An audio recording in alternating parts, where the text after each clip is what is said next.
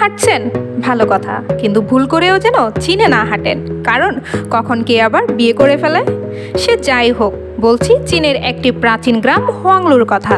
প্রাচীনকালে সেখানে একটি নিয়ম ছিল, কোনো পুরুষ যদি কোনো নারীর খোলা চুল দেখে ফেলতো, তাহলে সে মেয়েটিকে তার বিয়ে করতে হতো। ওই গ্রামের নারীদের চুল অবিশ্বাস্য রকমের বড় হয়। তারা শুধুমাত্র আঠারো বছর বয়সে পা রাখার প্রাককালে আয়োজিত এক অনুষ্ঠানে চুল কাটতো। এর অর্থ, জীবনে প্রথমবার চুল কেটে মেয়েরা বিয়ের জন্য প্রস্তুত হয়। তবে ওই কাটা চুল ফেলে দেওয়া যাবে না। কাটা চুলের অংশ কিশোরীর দাদিমার হাতে দিতে হবে। এই চুল দিয়ে তৈরি অলঙ্কৃত শিরস্ত্রাণ ওই কিশোরীর বিয়ের দিন তার বরকে উপহার দেওয়ার নিয়ম হিসেবে প্রচলিত আছে। দুই হাজার বছর ধরে চীনের এই গ্রামটিতে চলে আসছে এই চুল না কাটার প্রথা। চীনের বেজিং এর হোয়াংলু নামের ছোট এ গ্রামটি বিশ্বজুড়ে পরিচিত এখানকার নারীদের সুদীর্ঘ ঘন চুলের জন্য। রেড ইয়াউদের জীবনে চুল ছিল সম্পদের মতো। এক সময় স্বামী, সন্তান ছাড়া কেউ নারীদের খোলা চুলে চোখ রাখার অনুমতি পেত না। তখনকার দিনে গ্রীষ্ম বা শরতে নারীরা মাথায় নীল উড়না বেঁধে নদীতে চুল ধুতে যেত। যদি কোনো স্থানীয় বা বিদেশিরা তরুণীর চুল দেখার জন্য বাড়াবাড়ি করত, তাহলে শাস্তি হিসেবে তিন বছর তাকে ওই তরুণীর বাড়িতে জামাই হিসেবে থাকতে হতো। তবে পুরনো নিয়ম ভেঙে ফেলা হয় উনিশশো সাতাশি সালে।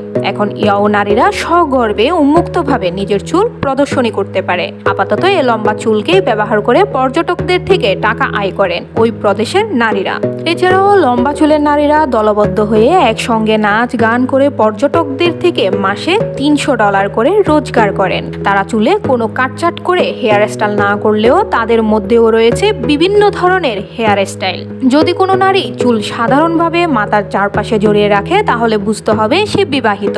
তবে তার কোনো সন্তান নেই। যদি সে তার মাথায় রুমাল জড়িয়ে রাখে, তার মানে সে জীবন সঙ্গী খুঁজছে বলা হয়ে থাকে, রেড ইয়াও নারীর চুলের তিনটে স্তবক। প্রথম হলো চুল যা প্রতিদিন গজায়। দ্বিতীয়ত, কেটে ফেলা অংশ। ও তৃতীয় হচ্ছে ঝরে পড়া চুল, যা রোজই সংগ্রহ করা হয়। তিন স্তবকের চুল বিন্যাস তাদের সামাজিক মর্যাদার প্রতিনিধিত্ব করে।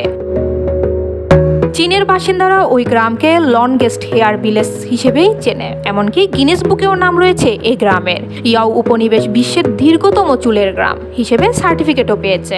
এছাড়াও দু হাজার চার সালে সবচেয়ে লম্বা চুলের জন্য গিনেস বুকে নাম লিখিয়েছিলেন এখানকার এক নারী। তার চুল ছিল আঠারো ফুটেরও বেশি লম্বা। ডেক্স news, C plus TV Bangla.